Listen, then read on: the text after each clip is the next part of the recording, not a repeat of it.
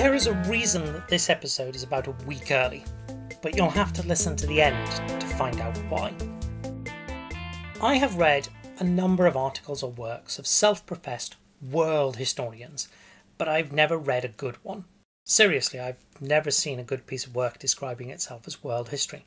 If you know of one, feel free to leave the reference in the comments and I will take a look. Why is that? Well, I think the answer is fairly obvious. World history is just a modern way of saying that you plan to tackle a very big question, something that encompasses a long period or covers a very wide geographic area. As questions get bigger, in the sense of encompassing more sources, then obviously they get harder. And this, I think, is a fundamental issue. There are just some questions that are too big to answer. Let me give an example, a question I've mulled over at various points, but never felt I was able to tackle in order to illustrate this. First, I need to dump a little bit of background information. Coins were invented a little over two and a half thousand years ago, and when they were first invented, there were essentially just two places making coins a mint in Lydia, that's in modern Turkey, and some mints in China. The vast majority of people would never have seen a coin. The vast majority of people lived in states that never issued a coin. Fast forward 1500 years, and the situation across most of Europe and Asia could not have been more different. Almost every political unit of any substantial size issued coins, and while some people did not routinely use them, there would have been very few people who had never seen one. Coins had, by the early second millennium AD, become as ubiquitous a part of material culture as pottery. That is just an observation. It only really turns into a question when we juxtapose it with another observation about trade. The movement of objects over long distances is almost as old as our records allow us to see. But there is no question that deliberate trade in objects between people who did not live in the same political unit, or even in polities that bordered each other, spice from the South Indian kingdoms to Egypt, silk from China to Rome, silver plate from Europe to the Persian empires, that kind of trade has intensified enormously in the last 3,000 years. And I don't think there can be any serious question that the period from the mid first millennium BC through to the early second millennium AD, the period during which, as I observed, coinage was invented and spread across Eurasia, that that period saw marked and significant increase in long distance trade. Again, those are just observations. It's the juxtaposition that creates a question. Across roughly the same period, both long distance trade and a particular physical representation of money, coins, become much more common. Is there any connection between those two things? Did one facilitate the other? Are they the result of a common cause? Do they really align? Or is it actually a superficial resemblance? That is a world history kind of question. And my problem with it is that it feels too big. It's not a complicated question. You can see how to go about answering it. That's quite obvious. You just quantify how many coins there are and how much trade there is at any particular moment. And you do that for each place and each moment, from the 7th century BC to the 11th century AD, from Ireland to Japan. And then you look at the evidence for how people travelled and traded and how people used coins, and you look to see if there are patterns connecting them. Does one follow the other, or vice versa? Do they synchronize or diverge? Did traders use coins? When? And how?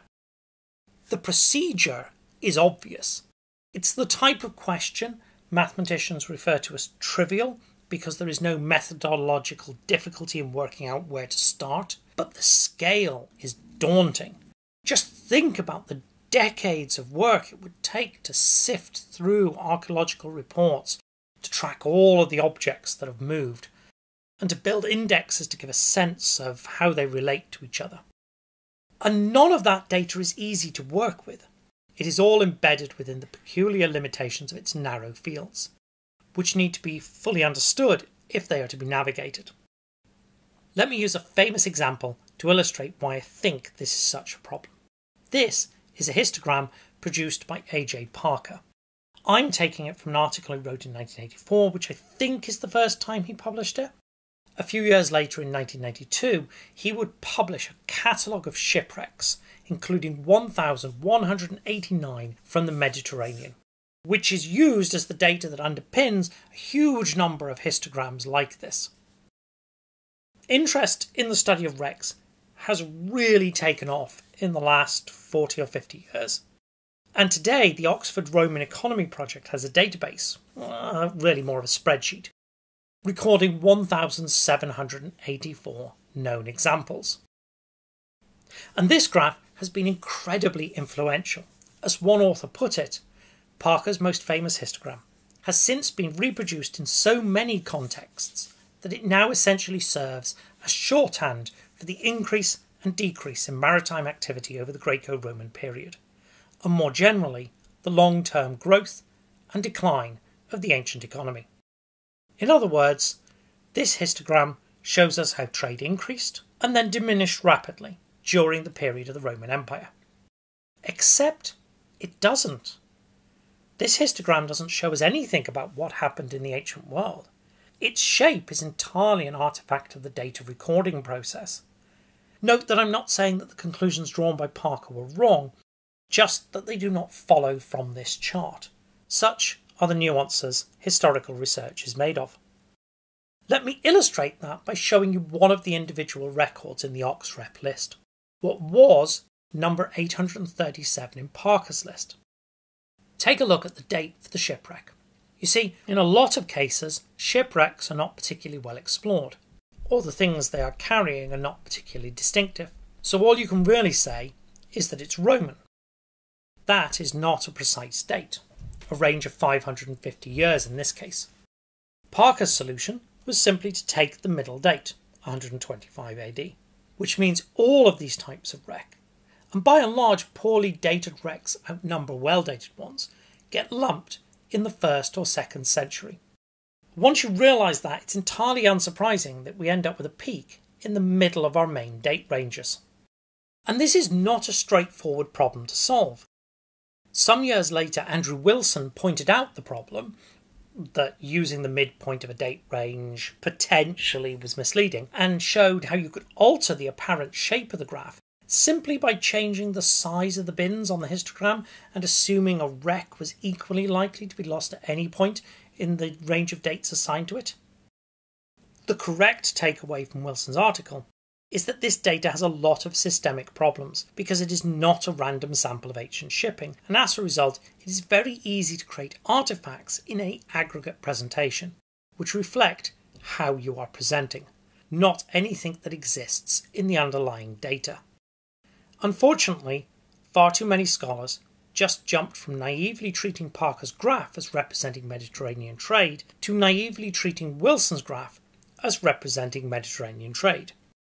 The problem is obvious. If there was a steady increase in the long distance transport of roof tiles from the 1st to the 5th century AD, but all of the roof tiles in that period look the same, then you cannot see that through this sort of data. In fact, you are likely with both Parker and Wilson's method to get an erroneous impression.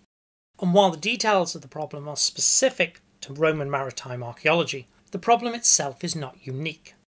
These charts, based respectively on museum collections and hoards, count the number of coins across the centuries in South Asia.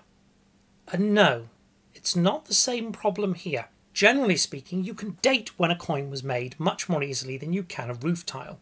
No, the problem here is one of scholarly attention.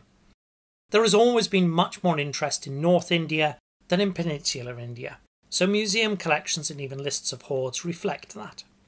These aren't really charts about South Asia, they are charts about a particular bit of South Asia.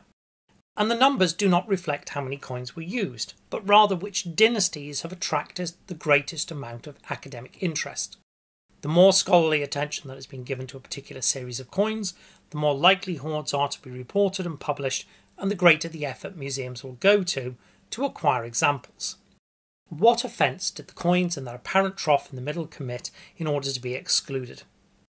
They were issued by dynasties modern scholars do not care about, and they are, by and large, small, dull coins with repetitive designs. But that's a problem. Being small and dull and repetitive are the kinds of compromises you might expect somebody making coins to engage in as they increased rather than decreased mass production? Ultimately, the answer here is much the same as it was for the shipwrecks. No amount of staring at that chart will tell you how many coins were in use, just as no amount of staring at Parker or Wilson's charts will tell you anything about increases or decreases in Mediterranean trade. If you want answers to those questions, you will need to understand the data, not the charts. And what's the problem with that? Well, the question I raised at the beginning is a question about Eurasia. But these two examples cover just a tiny bit of that area. These examples need to be data points amongst hundreds of others in order to help us answer the big question of whether there is a relationship between long distance trade and coins. But they are not data points.